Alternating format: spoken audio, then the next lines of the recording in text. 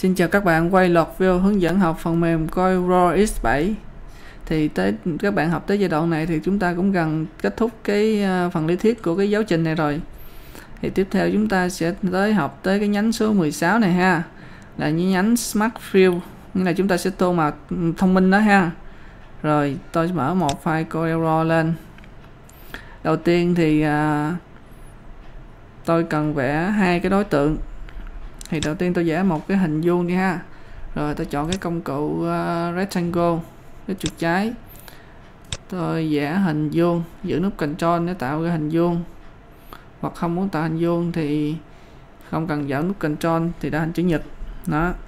Tiếp theo tôi vẽ hình tròn thì bằng giờ chức năng ellipse ellipse này đây không giữ nút control thì ra cái hình ellipse giữ nút control thì nó ra hình tròn.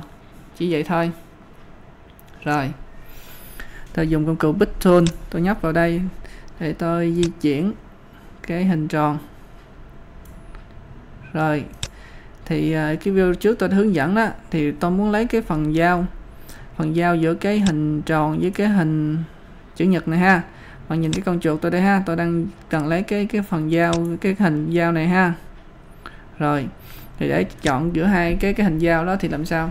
Thì đầu tiên các bạn à, chọn cả hai đối tượng, thì các bạn có thể quét quét như thế này ha lít chuột trái, giữ chuột trái không buông và các bạn rê chuột để tạo cái ờ, đối tượng quét, cái hình chữ nhật quét cả hai đối tượng, buông chuột trái ra. Rồi, và các bạn cũng có thể lít vào một cái hình bất kỳ, hình tròn này rồi chẳng hạn. Giữ nút shift để chọn các đối tượng còn lại, tôi chọn hình chữ nhật, rồi sau đó tôi buông chuột ra, tôi đã chọn được hai đối tượng khi bạn chọn bắt từ hai đối tượng trở lên thì mặc định cái bạn nhìn lên cái thanh ờ, thuộc tính cái dòng trên đi ha Property đi, bạn sẽ thấy nó sẽ hiện ra các tính năng để chúng ta có thể là chọn phần giao hay là gắn kết các đối tượng lại combine rồi lại nó có nhiều cái thuộc tính thì video trước tôi hướng dẫn rồi. Trường hợp này tôi muốn lấy cái phần giao thì sao? Thì bạn bạn di chuyển đến cái ờ, chức năng intersect này ha. Intersect là chúng ta sẽ lấy phần giao tôi lít thử nha lít chuột trái rồi như vậy là ta đã lấy được cái phần giao giữa đường tròn và hình chữ nhật này. Rồi tôi lít vào cái phần giao này. Tôi lít dùng cụ bích tool ha, tôi lít vào cái phần giao này. Tôi di chuyển ra ngoài cho bạn thấy thấy chưa? Tôi lấy được cái phần giao này. Đó. Thì đây là một cách thôi. Nhưng mà tôi chỉ cho bạn một cái cách này rất là hay đây ha. Cái cách này rất là tiện dụng mà dùng dùng cho những cái à, đối tượng mà có những cái hình mà phức tạp á rồi như là tôi, theo tôi biết thì từ Corel ờ, X7 trở lên mới có, còn từ Corel X6 á, trở về sau thì nó không có chức năng này ha. Rồi chức năng này rất là hay. Tôi cũng làm lại, rồi tôi nhấn undo để tôi quay lại. Đây nhấn mũi tên undo hoặc các bạn nhấn phím tắt có thể nhấn chữ Ctrl Z đó, để quay lại thao tác vừa làm. Đó. Rồi bắt đầu tôi chọn hai đối tượng lại nha. Tôi chọn hai đối tượng lại đây sau đó các bạn sau khi bạn chọn hai đối tượng xong bạn di chuyển tới cái nút chức năng bên tay trái nè. Cái chức năng ở cuối cùng luôn cái nút ờ, công cụ chức cuối cùng luôn là công cụ Smart Fill Tool ha. Công cụ uh, tô màu nền thông minh bạn lít chuột trái vào đây. Sau đó bạn di chuyển đến cái dùng mà bạn uh, bạn định chọn đó. Giả sử như tôi chọn vô cái phần giao giữa hai cái hình này tôi lít vào đây hai lít chuột trái. Thấy chưa? Tôi lít chuột trái xong tôi buông chuột ra.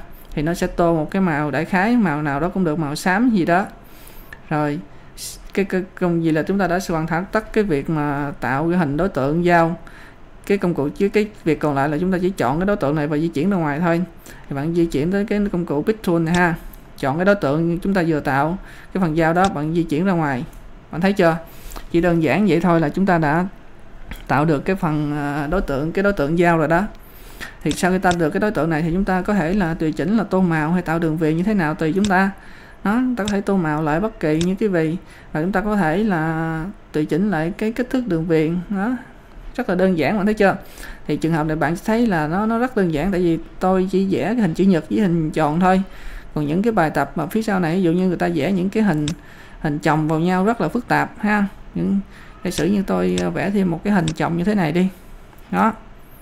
Những cái hình rất là phức tạp, thì nhiều khi là các các bạn không thể nào mà mà dùng quét hết những cái đối tượng này và các bạn uh, quét hết giả sử như tôi tôi xóa cái hình này đi nha tôi xóa cái hình màu tím đi. Đó.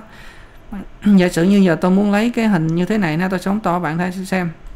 Tôi muốn lấy cái hình vuông hình chữ nhật xin lỗi hình chữ nhật ở phía giao của rất là nhiều đường như thế này đây. Thì tôi làm sao? Thì bạn không thể nào mà chọn quét chọn nhiều cái tất cả các hình này. Và bạn uh, lấy phần giao như thế này được ha. Nó cái phần intersect này ha lấy phần giao là cái hình này được thì nó rất là rối mất thời gian. Trong khi đó thì các bạn chỉ cần à, sử dụng cái nút công cụ này thôi, Smart Fill Tool lít chuột trái. Sau đó bạn di chuyển đến cái chỗ nào mà bạn, theo con mắt của bạn nhìn á, thì cái công cụ này nó không phân biệt là cái layer là lớp như thế nào. Nghĩa là cái lớp nào chồng lên lớp nào, nó không cần phân biệt, nó chỉ cần phân biệt cái con mắt của bạn mà nhìn lên cái màn hình á, màn hình hai chiều á, là bạn thấy cái hình như thế nào thì nó sẽ lấy cho bạn được cái hình như thế thôi. Giả sử như tôi chỉ nhìn trên, theo cái giao diện hai chiều á thì tôi thấy được cái hình chữ nhật giao giữa mấy cái đường này là như thế này thôi. Thì tôi lít vô đây ha. Tự động nó sẽ lấy cái hình này. Nó rồi sau đó tôi nhấp công cụ pick tool để tôi chọn cái hình này. Để tôi di chuyển ra ngoài bạn thấy chưa? Rồi tôi làm lại một lần cuối nữa nha. Tôi chọn công cụ uh, Smart Fill Tool tôi muốn tô thử cái hình cái hình này đi. Cái hình này giao giữa biết rất là nhiều. Cái đối tượng tôi cũng chả biết đối tượng nào nữa. Tôi lít vô đây. Thấy chưa? Đó tôi dùng cụ Pick Tool tôi di chuyển cái đối tượng ra ngoài đó như thế là tôi đã tạo được cái uh, một đối tượng mới. Cái công cụ này rất là hữu dụng trong việc ta tạo cái những cái đối tượng uh, mới á, từ nhiều đối tượng giao lại nhau. Cái phần này thì rất là hay nó chỉ có trên hình như tôi biết là chỉ có trên cái phần mềm Quiro X7 trở lên ha. Rồi hẹn lại các bạn trong các video tiếp theo.